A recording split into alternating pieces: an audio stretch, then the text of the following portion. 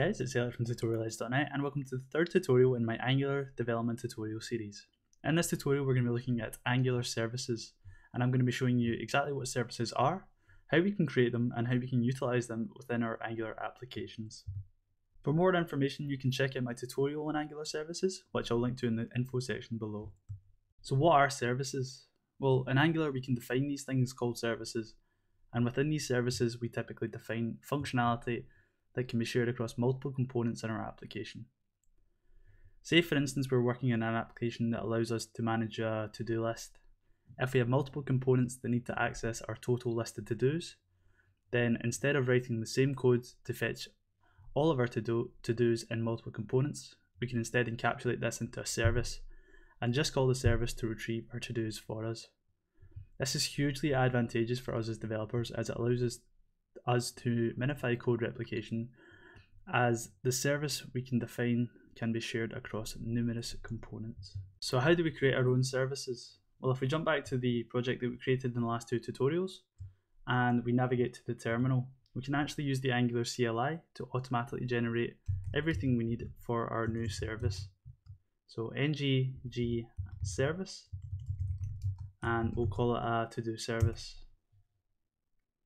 Now what this will do is it will create the two files we need for our service, um, the test file, the .spec.ts, and the actual service file itself.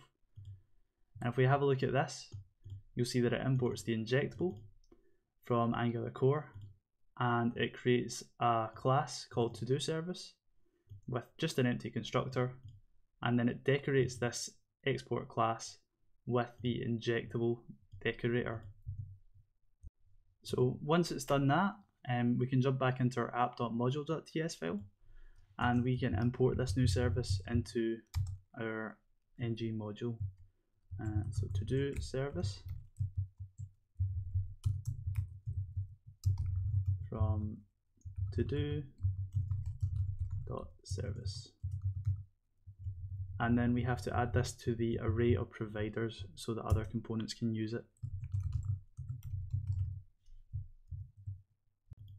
Should you forget to add this to your array of providers, then you should see errors like so.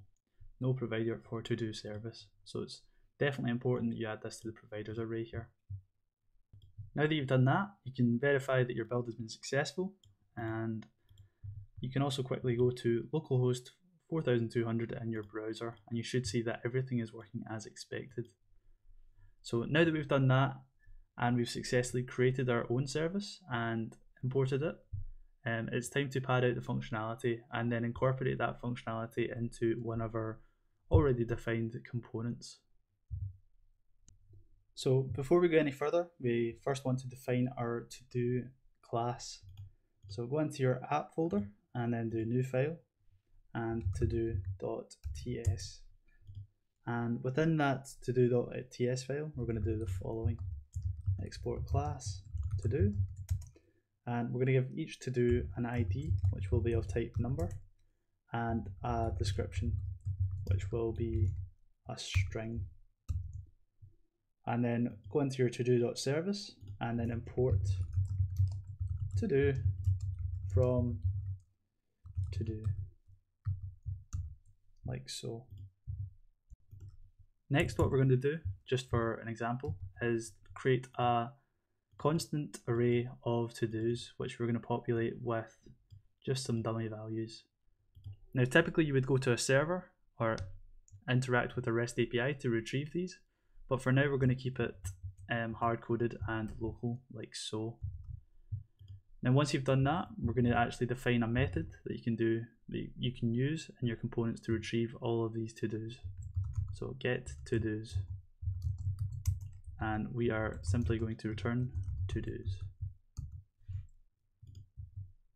And finally, to test everything works with our service and actually interact with it, we can come into one of our components.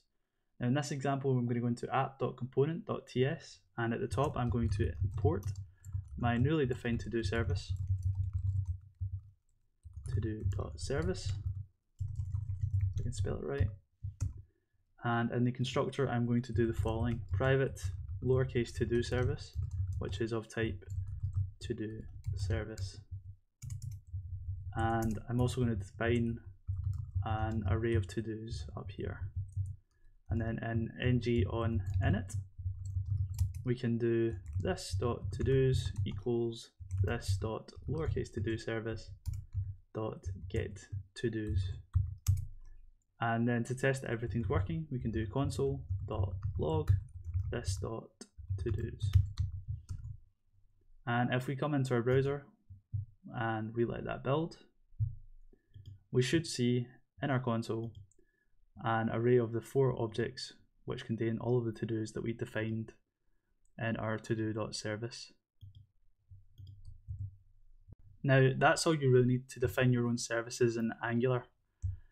In future tutorials, however, we're going to be going over how you can use RxJS observables in order to interact with REST APIs, but that's all we're going to cover for now. Now, if you found this tutorial useful at all, then please leave a like, and if you require any further information, then please let me know in the comments section below. Cheers.